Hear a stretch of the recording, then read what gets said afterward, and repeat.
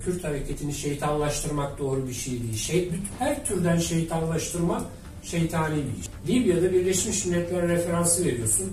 Suriye'de veremiyorsun. Tabii ki Türkiye'deki mültecilerin sayısı kabul edilemez bir noktaya geldi. İşte Kuveytli, e, Lübnanlı turisti de mülteci zannediyoruz ve diyoruz ki vay niye gidip savaşmıyorsun? Düşünebiliyor musunuz? Oradan çıkarılan bütün cüruflar, bütün o doğal dokuyu bozacaksınız. Küçük yapay adacıklar yapacaksınız falan. Ama bir kişinin kararını iki dudağı arasında olacağına yurttaşı sormak e, her zaman e, tercih edilebilir bir şeydir.